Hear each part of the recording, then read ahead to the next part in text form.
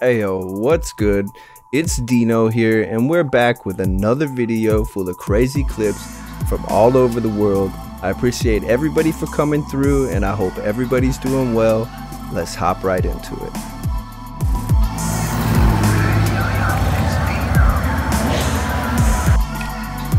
Why was a functionable, movable aircraft that can move in any direction, hover, pivot, and accelerate up to 60 miles per hour abandoned in the 1980s?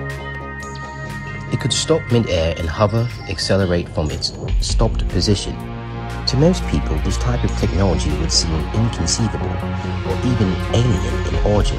Nonetheless, it would revolutionize the travel industry. Imagine traveling to work, avoiding traffic completely. It can go as high as 10,000 feet and can operate as long as 30 minutes before having to refuel. And this was back in the 1980s. Imagine the improvements on the longevity had research continued on this vehicle. So why then was research stopped and nothing else was heard of it? I don't know. Very few people know this existed. Research on the subject reveals that the US government said it was cost insufficient and inferior to the helicopter. Utterly ridiculous, most would think, but very few people know about it. It's known as the Wasp X-Jet, Williams Aerial Space Platform, or Flying Pulpit. It is controlled simply by shifting your body weight in the direction of your desired intent, yet it is inferior to a helicopter? Very confused here. This makes you wonder what other technologies were suppressed, like the water-fueled car that runs on water alone. Yeah, I'm, I'm actually very curious about which technologies have been suppressed. I remember seeing a lot about these platforms. There was a guy that was like using the uh, casings of the beetle exoskeleton and magnets and electricity and stuff to create basically what you just saw on the screen. And uh, all that information was really cool. I've always wanted to see more on it. So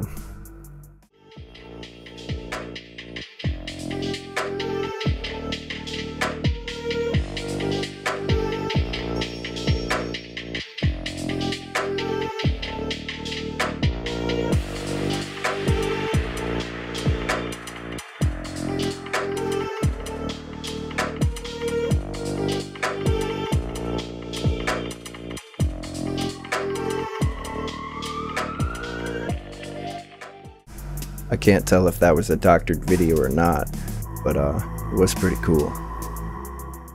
90s, I've had a dead man trigger of stuff I'm holding back.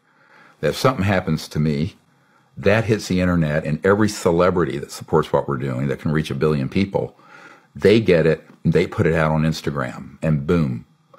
You know, and this is stuff they do not want out. It's names, it's stuff that I have not released, and where and who.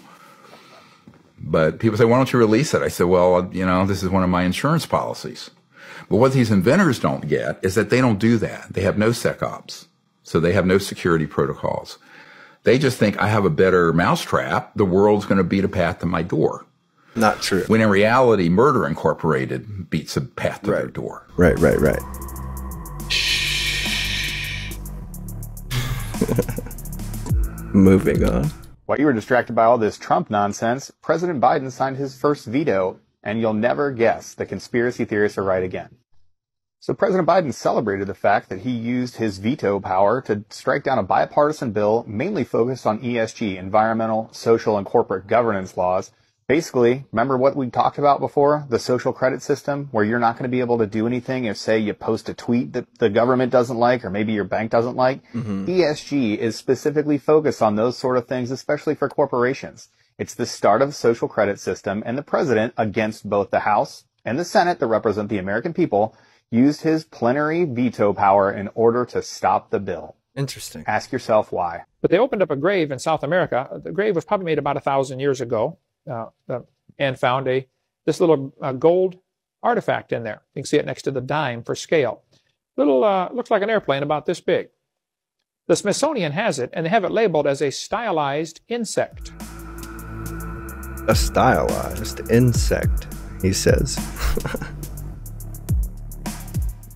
Because they got this preconceived idea ancient man was dumb, modern man is smart. They could not possibly have known about airplanes a thousand years ago. And yet, here they've got one. That's not a stylized insect. I'm sorry, they knew about flight. An Egyptian tomb was opened that's 2,100 years old, and it also had an airplane in it, a little model glider.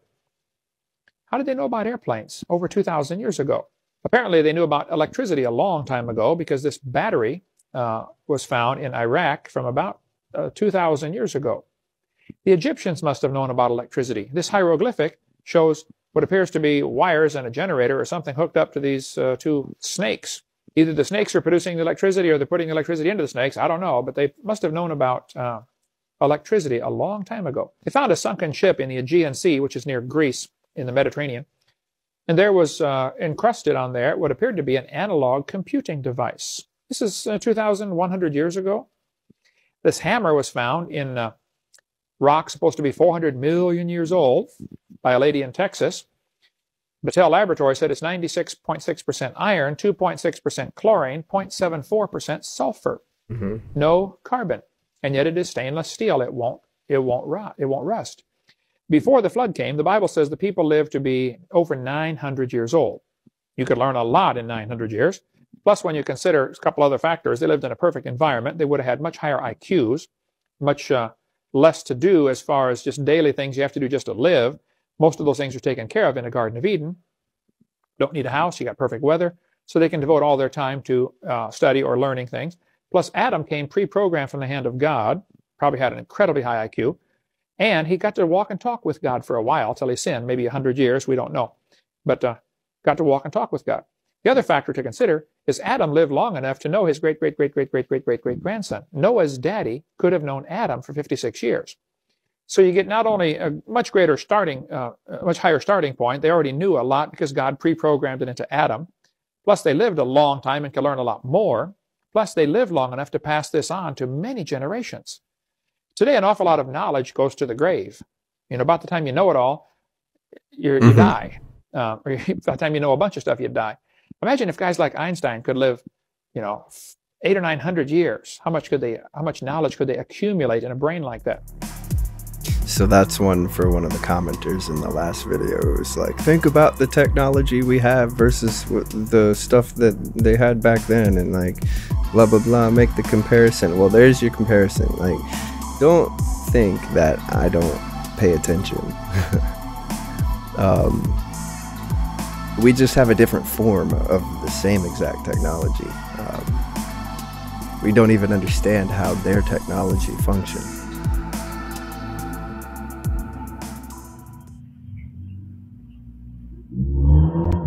Ooh, okay. That was close. We're summoning the demon. What is a portal? Janus is this double headed god, and it's the god of the doorways. And this is where January comes into play. This is Stonehenge. Aerial view, a key. The key opens the door to the portal. The Vatican at Disneyland.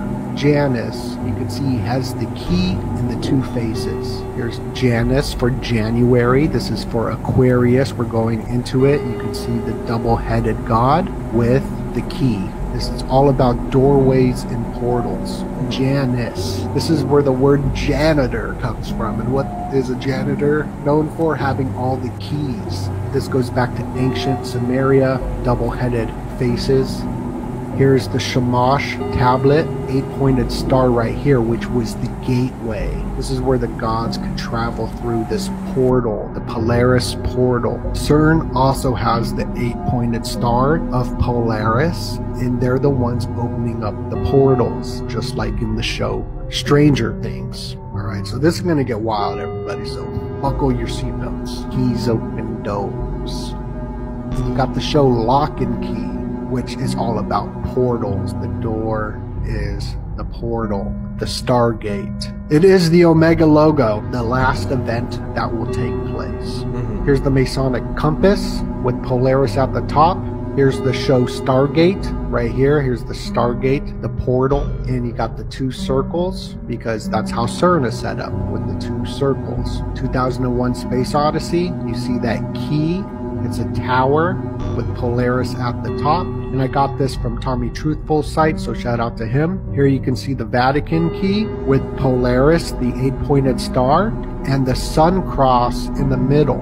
which is for the four corners. And right in the middle of the four corners is the volcano that we mm-hmm. see right here in Lord of the Rings, the volcano. This goes into Polaris and it also goes into some sexual symbology as well. You see it here at Disneyland. Shout out to the One on One podcast. You can see that eight and the key and the sun cross in the tower.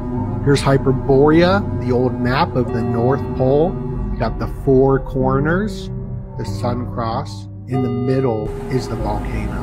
Here's Star Wars, Polaris right back here, and the eight different points. Pretty wild because even Venus is connected to this, which is known as Lucifer.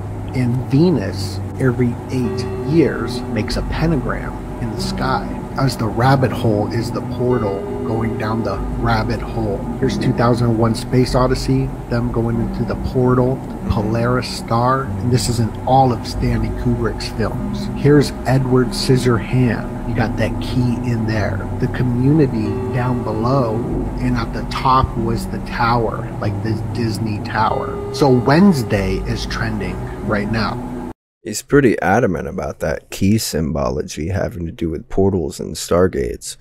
Um, I wouldn't doubt it, to be honest. Look at what CERN is doing. Like, it's wild to think about. Um, I definitely believe some sort of Stargate exists, some sort of wormhole technology or something like that. In space. The next ultimate destination is no, Mars. the next one. Congressman, the next destination, as I said before, is the International Space Station, and All we've right, got let's to do that not four be more times. trite then. What is the one after that? It's Mars, So there's nothing in between as far as you're concerned. but there are intermediate stops What are the way they? there. What's the next one? the Moon is a is a destination. Lagrange points are destinations. Which one is next? You mean where do we go immediately next? Is that is that the question? That's what next means.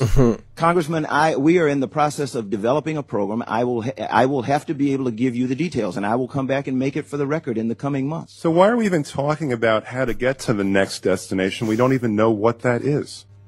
Congressman, we do know what it is. We know what it What is it? Congressman, I, I- you know, we can go back and forth uh, forever. We seem to have to here. I'm looking for an answer. Okay.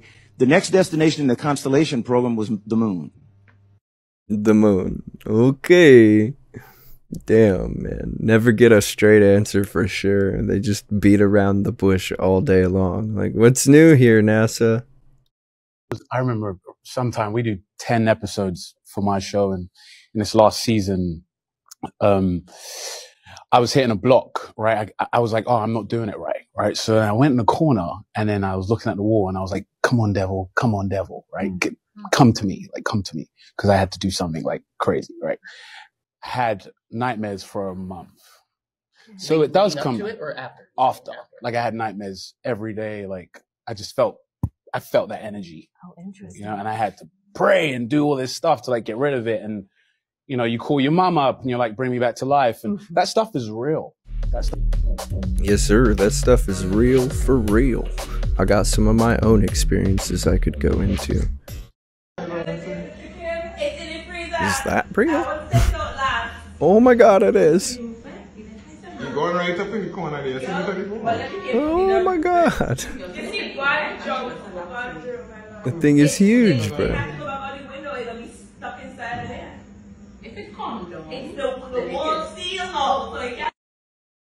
That's terrifying.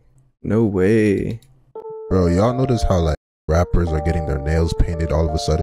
Y'all notice your favorite celebrities have their nails painted all types of colors. I'm gonna explain to you why they're doing this. They are trying to push an agenda for men to be more feminine. This way it makes it harder for us to make decisions, and we are also confused. This is just bringing confusion. Painted nails only used to be for women. Now we have men doing it. And now soon, we're gonna have men doing a lot of things that only women should be doing. This right here is not normal. I don't know why they're trying to normalize this. This is not normal. Stop hopping on these trends. They're trying to make you more feminine. Peace and love. Follow me for more content. Alright, fair point. Those examples you gave were pretty good examples. But like I get a lot of shit for my hair all the time, alright? Because I do pastel purple hair. And like, I'm gonna be honest with you, me having purple hair does not mean that I'm being more effeminate. It does not mean that uh, anything really. It just means I like the color purple and I color my hair purple. So like, whatever. I could give a shit less what people think. If you want to think it's making me more effeminate, that's on you. But I'm a good old boy who grew up in the South. I know how to chop trees and build houses and run chainsaws and tractors and backhoes, just like any other good old boy. I just prefer to have purple hair. I'm kind of a nerd. Oh well.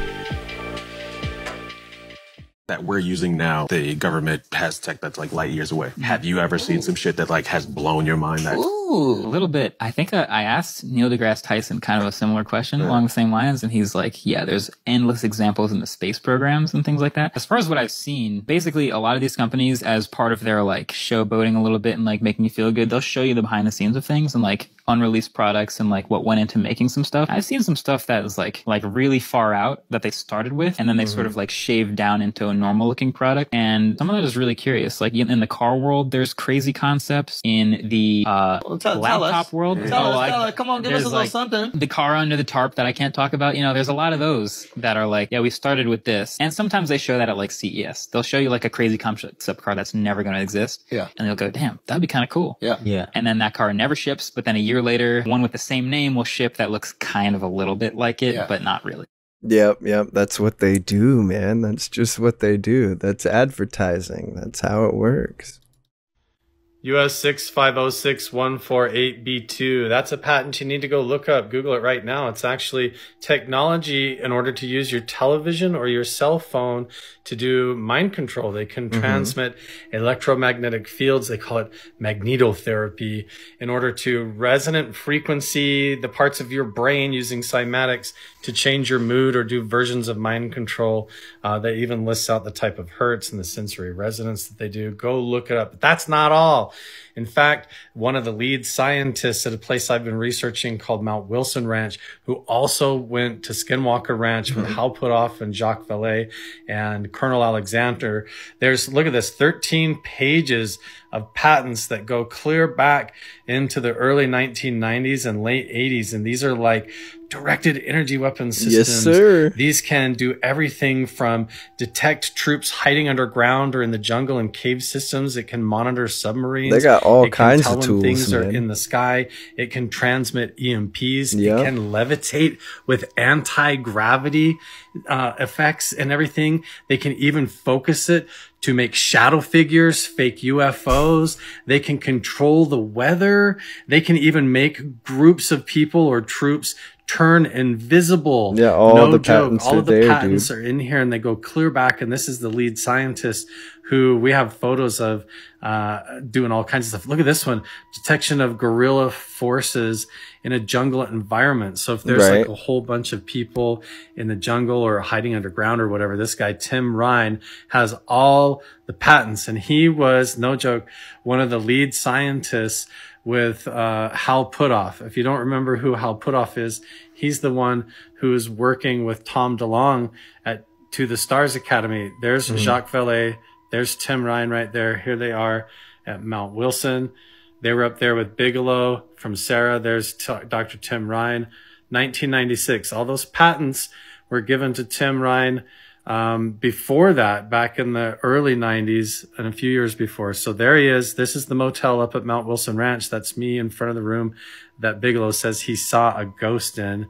Uh, it's a cool place. You can actually go Look visit there. at But this check out what we Electric found. Spacecraft Journal, 1994 Mhm. October. Look at this. It's a flying saucer and all the physics of how to do it, gravitational control.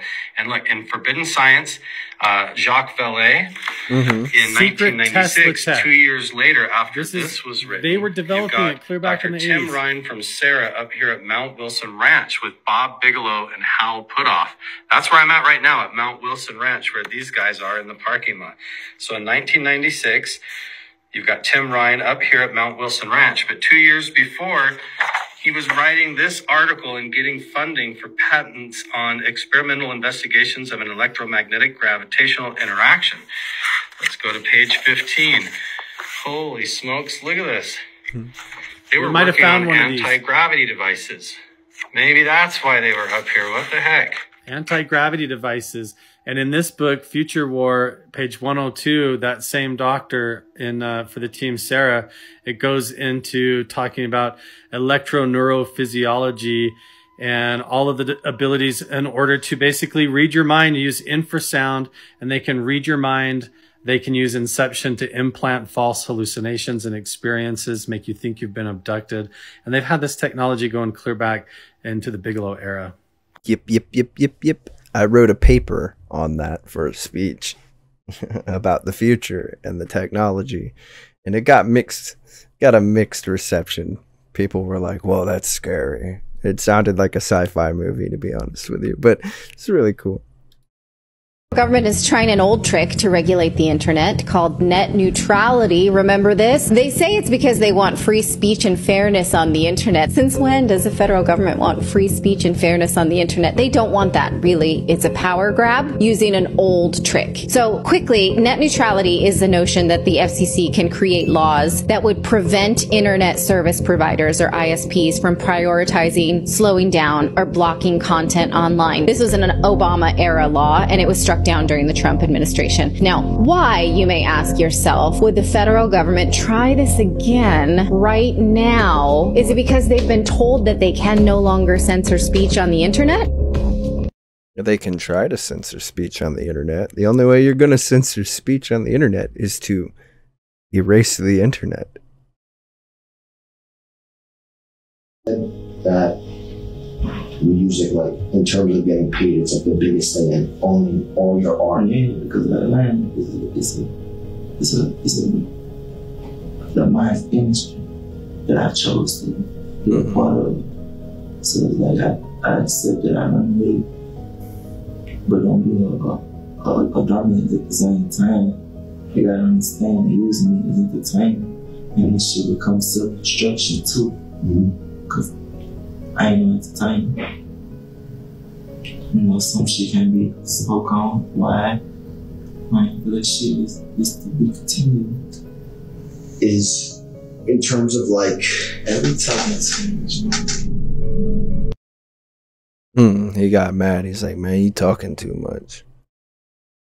If you, cannot manage a property, you don't know the legals, the ins and outs, because if you have a contract with your renter, and if you don't perform on your contract, and your and the and also the renter tears your property up, so just say you can just go and buy a 150 unit apartment house, you can do that, but there's not many people. Yeah, so that's why to be clear. That our, our message here, Grant, your message is probably different than ours, but is to me is the management of the property and making it turn a profit is the hard part today. The raising the money is easy. There's a lot of financing for it. People are going to throw their money at you. Yeah, I don't know how. He, I mean, I don't. I don't know that I'd say it's easy. We've raised seven hundred million dollars. You, you you still got to manage people, phone calls. You know, like it's not. I mean, when you say it's easy, it's not easy. Like we do it with no ads, Robert. No, I haven't spent any. I I think I spent fifty grand in ads. So these big guys that we're competing with today, like if you can't move fast, you're not going to get the asset, as you know. Yeah, Grant, Grant, hang on. Not too many people are going to do what you do. Our audience wants to know how to get started right now. Okay. So okay. please, Well, pl- eh, wait, please be respectful to our audience, okay? Mm, yeah, I mean, he just went on there talking about how much he was making. Um, he didn't say how or any of the information that was really needed, just how uh, they're making so much money that you know everyone else should be able to do it too, and they're cornering this. Like the point was that he had him on the show to uh, give information about how to get to that spot and all dude did was brag about it and talk about his own business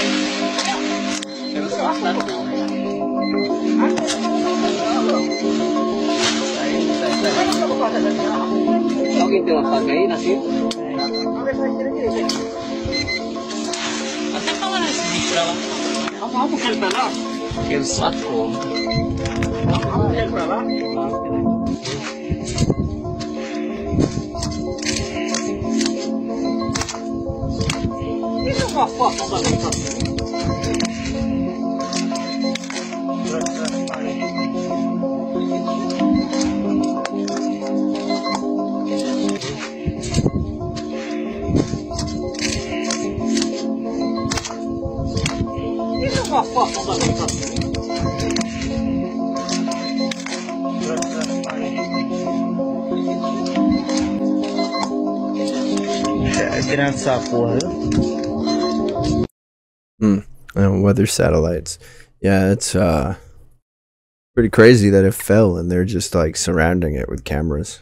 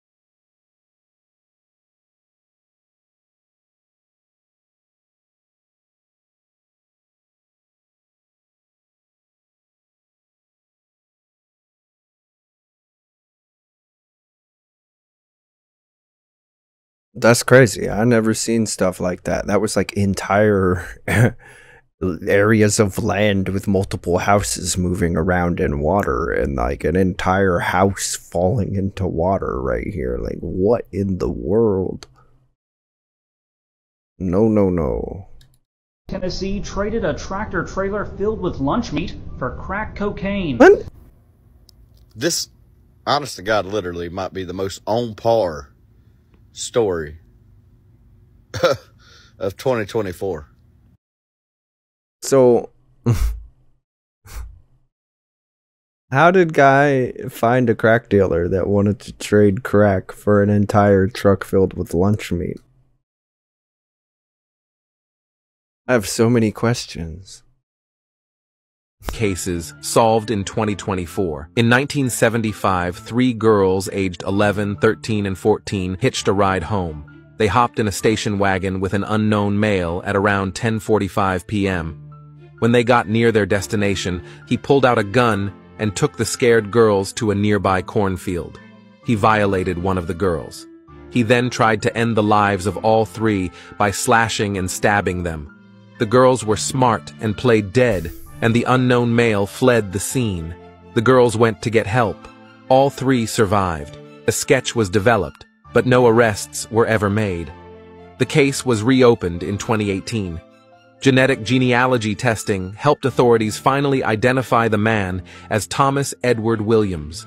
He died in a Texas prison in 1983 when he was 49 years old. All three victims are still alive, and we're grateful to get some justice even after almost 50 years. Now that that's a crazy story. That that's it's real, but that's a wild story right there, man. Think about that. Like you go to finally find out who this person is, they finally figure it out, but the person is is dead and was dead from being in prison.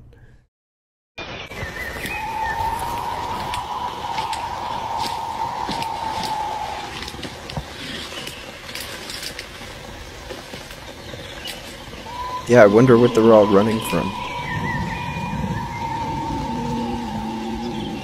Because obviously that sound is fake in the background.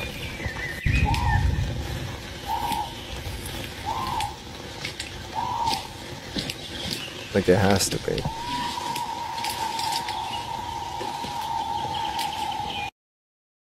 Yeah, that's wild. That's really creepy vibes to that video.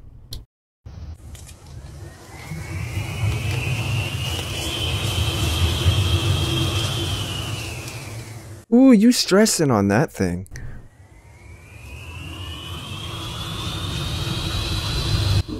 Is it gonna go? Oh, oh.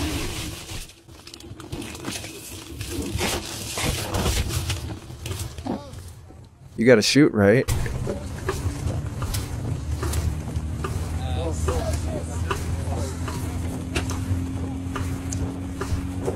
That's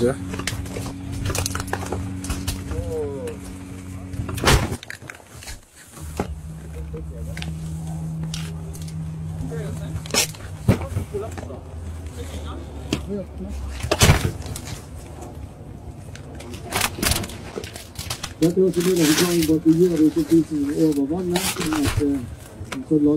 her ikke blir lokale. Der er vi om ikke han kommer opp i. That's nuts, dude. I'm glad you're okay. That's I'm glad you're okay, man. That's an experience right there.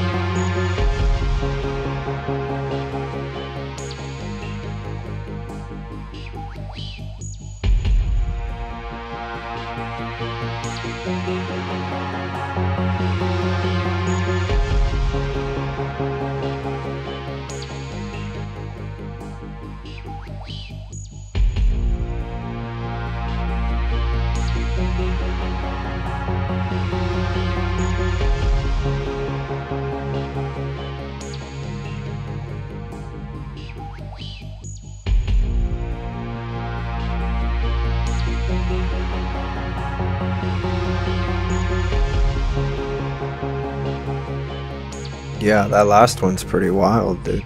I've seen tons of stuff up in the sky like that last one. I used to, when I was a kid, I was really into telescopes, so I had a few of them.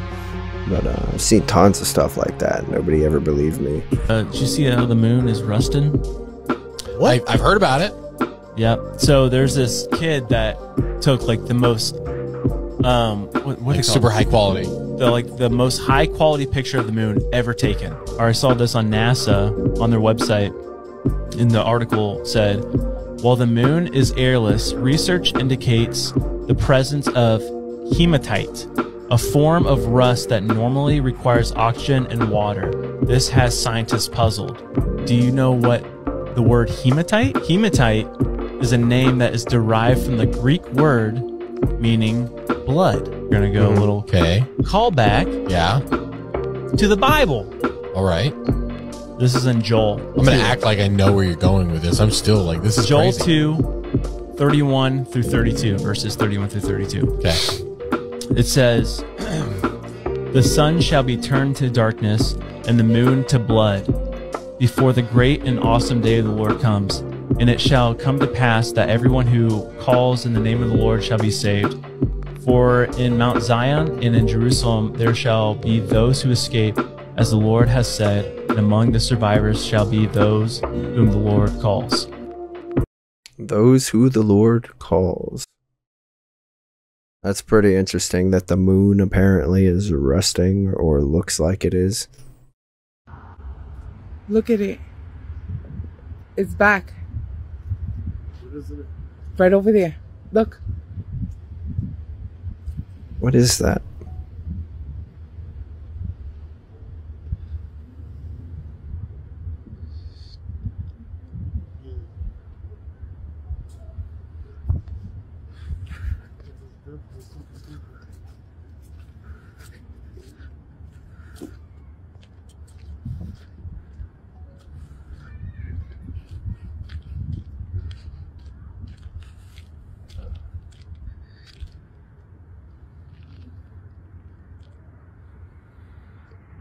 Look at it. Straight down.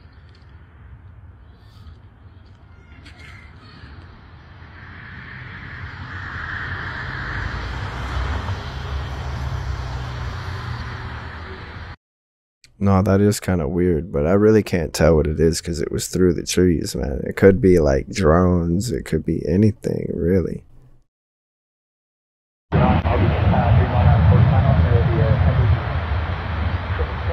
Oh no.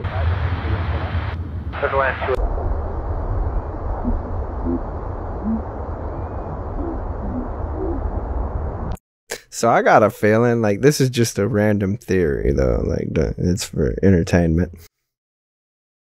I got a feeling that they're like doing all this stuff on purpose to make it to where everyone just is afraid to fly, so they're making flying ghetto and uh they don't want us to travel anymore. Moving on. Anyone else besides me find this a little weird? All of the stuff that they are telling us to do It is a when it comes weird. to this eclipse. What do they know that we don't know? They're mm. telling us to get groceries. They're telling us to stock up on essentials. They're telling us to have cash on hand just in case. So, what exactly do they know that we don't know? That first photo that you've seen was a news station in uh, Arkansas. This one that you're seeing on screen is from a place in Ohio. So, what exactly do they know is coming? What are they not telling us? This is some strange stuff indeed. You tell me what you think about all of this. They're even saying possible gas shortages. Very strange stuff is happening. That is kind of strange. Strange like, why would there be a gas shortage over there? Well, Be ready a lot of people are going to travel because you never know I don't know though. next. It's a little weird. They are saying a whole lot of stuff to make it seem like a scary thing, but like I don't know, man. The entire world is going through a historic shift in vibration, ascending spiritually from the third dimension to the 5th mm-hmm. The 3D is the physical world in which we live and is known to everyone. The 5D is the non physical world that is experienced by the spiritually awakened. In the process of spiritual awakening, your senses are heightened to adjust to new frequencies. The world is awakening, so the creation of the new earth can begin. The earth is going through an ascension, and so is the physical body. Ascension is the process of raising your vibration, shedding your ego, and shifting into an elevated level of consciousness. Agreed. Agreed. We're all shifting, and well, most of us are shifting, and uh, it's something that we need to be prepared for. All right, so I got one more for you guys. Oh, they're lost because of the smoke.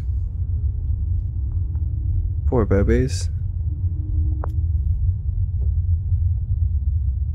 Somebody come collect their horses. Maybe that's what they're trying to do. Just gotta follow them till they calm down.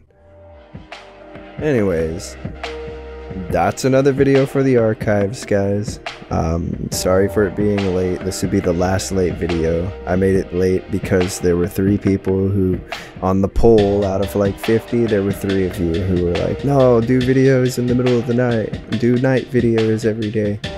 But um, the poll outbeat everybody, so we're going to be doing morning daily videos. Alright? This is my last one for you guys here tonight. Appreciate everybody for coming through. I hope everybody's doing well. Go ahead and do me a favor and hit that like, hit that subscribe, share this video around on all your social medias. And uh, until next time, peace.